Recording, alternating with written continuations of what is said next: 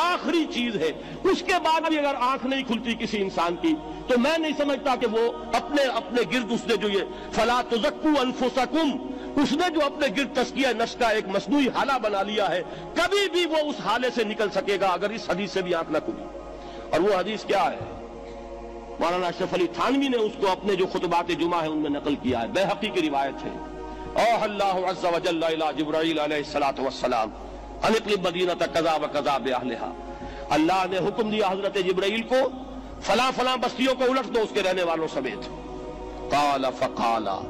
حضور نے فرمایا، اس پر حضرت جبرائیل نے عرض کیا بارگاہ خداوندی میں، ان فیہا عبدک فلانا لم یعصک طرفت عین۔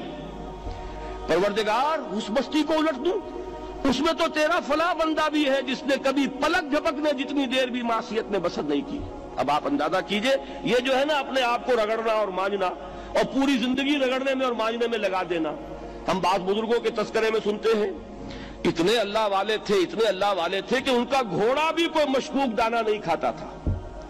اور وہ خود جو ہے وہ انگریز کی عدالت میں بیٹھے ہوئے اور انگریز کی نوکری کر رہے تھے۔ یہ ہے وہ مائکروسکوپک اور مائکروسکوپک کا عدم توازن۔ تاغوت کی چاکری کر رہے ہیں، انگریز کی ملازمت کر رہے ہیں، انگریز کے قانون کی تنفیذ کے اندر اعلی کار بن رہے ہیں۔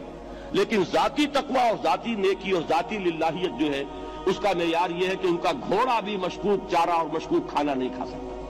یہ ہے وہ عدم توازن، اس کو نوٹ کیجیے گا۔ جس کو کہ اس حدیث میں محمد رسول اللہ صلی اللہ علیہ وسلم نے واضح کر دیا کہ حضرت جبرائیل عرض کرتے ہیں کہ اللہ فلاں بستی کو الٹ دوں۔ اس میں تو تیرا فلاں بندہ بھی ہے جس نے پلک جھپکنے جتنی دیر بھی معصیت میں بسر نہیں کی۔ ذاتی نیکی کا اب اس سے اونچا کوئی مقام، کوئی شخص مجھے اگر بتا سکے تو میں اس کا مرید ہو جاؤں گا۔ اس سے اونچا کوئی مقام ہوگا کہ آنکھ جھپکنے جتنی دیر بھی کسی نے معاشیت میں بسر نہیں کی۔ ذاتی نیکی کی معراج۔ لیکن حکم کیا ہوا بارگاہ خدا بندی سے؟ قالا فقالا حضور نے فرمایا اللہ تعالیٰ نے حکم لیا جبرائیل کو، اقلب ہے علیہ وعلیہ، الٹو اس بستی کو پہلے اس بدبخت پر، پھر دوسروں پر۔ کیوں؟ فَإِنَّ وَجْهَهُ لَمْ يَتَمَّعْرْ فِي سَاعَةً قَطْ۔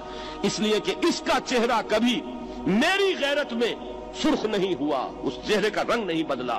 بے غیرت انسان، بدیاں پھیلتی رہیں، میرے دین کو روندا جاتا رہا، میری شریعت کی دھجیاں بگڑتی رہیں، عوامر کا مذاق اڑایا جاتا رہا۔ نواحی کے لیے دنیا کے اندر جن چیزوں سے میں نے روکا، اس کے لیے فلسفے تراشے گئے۔ اور یہ لگا رہا، مست رکھو ذکر و فکر صبح گاہی میں اسے۔ یہ سوائے ذاتی اپنے اس اصلاح کے اور ذاتی تقوا کے اور ذاتی نیکی کے اور ذاتی عبادت گزاری کے، یہ میدان میں نہیں آیا، اس کا خون نہیں کھولا کبھی۔ اس کے چہرے کا رنگ متغیر نہیں ہوا۔ لہذا یہ دوہرا مجرم ہے۔ یہ ہے وہ تصور جو یہاں پر نوٹ کیجیے۔ ہاں اس کے یہ معنی بھی نہیں ہے کہ نماز بھی نہیں پڑھ رہے۔ روزہ بھی نہیں رکھ رہے، اقامت دین کے کارکن ہیں۔ فرض نماز آ گئی ہے، وہ چلی جا رہی ہے۔ جماعت کا کوئی اہتمام نہیں ہے۔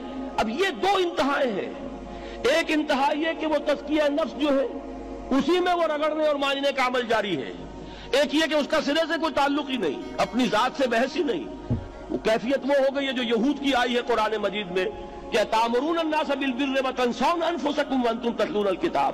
کیا تم لوگوں کو نیکی کا حکم دیتے اور اپنے آپ کو بھول جاتے ہو؟ یہ دوسری انتہا ہے۔ پھر وہی بات عرض کروں گا، وہی بال سے زیادہ باریک اور تلوار کی دھار سے زیادہ تیز راستہ ہے جس پہ چلنا ہوگا کہ نہ یہ ہو کہ وہ مبالغہ ہو رہا ہو۔ اپنی ذاتی اسلام میں تو مبالغہ کی حد تک آگے جا رہے ہیں۔ اور دوسرے یہ کہ اپنے دین کی تبلیغ و اشاعت، اقامت دین کی جد و جہد اس کا کھانا ہی نہیں کھولا زندگی میں۔ وہ کھاتا ہی نہیں کھلا۔